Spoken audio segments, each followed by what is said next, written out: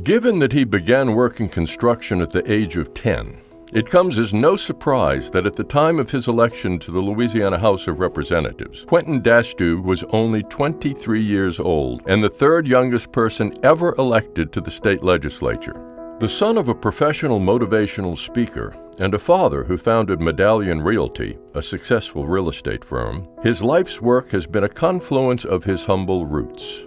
Born in 1955 to Paul Dastugue Jr. and Lily B. Stalling Moscal, Quentin and his three siblings were raised in Old Jefferson in Jefferson Parish. Upon graduating high school in 1973, he began studying at the University of Kentucky and earned a bachelor's degree in civil engineering from Georgia Tech in 1977. There, he was elected president of the Georgia Tech chapter of the American Society of Civil Engineers. Soon after, he began working for his father's real estate firm. It was during that time he received a fax call for action to lobby the legislature from the Louisiana Realtors Association. After meeting with his state representative, Quentin decided he could better serve the district than the eight year incumbent. In spite of his opponent being endorsed by every elected official in Jefferson Parish, he ran against him and won. For the first 10 of his 16 years in the legislature, he was the only engineer in the House of Representatives, and during his third term, served as floor leader for Governor Buddy Roemer.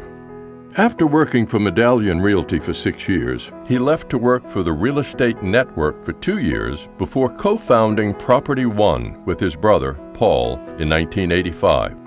That same year, friends introduced him to Penny Matherne. On their first date, Quentin's plans to take Penny to an LSU game nearly fell through when the two ran out of gas on Interstate 10. But she agreed to a second date, and it was then that he asked her to marry him.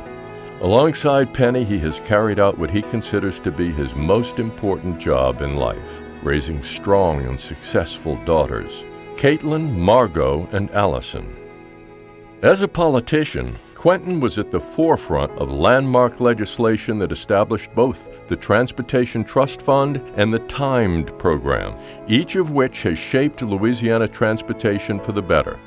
He is known for his continual efforts to reform the flood control system of the state, specifically the levee boards, has served as chairman of the House Committee on Transportation, Highways, and Public Works, and among his accomplishments are four consecutive terms as a Louisiana State Representative an induction into the Department of Transportation and Development Hall of Fame, and most recently, an appointment to the Southeast Louisiana Flood Protection Authority. Even after a Parkinson's diagnosis in 2009, he has continued to serve the greater good volunteering for numerous drug trials, co founding Kickin' Parkinson's, a major annual fundraiser for the Michael J. Fox Foundation, and raising over $1.5 million for Parkinson's research. Ladies and gentlemen, Quentin Dastugue.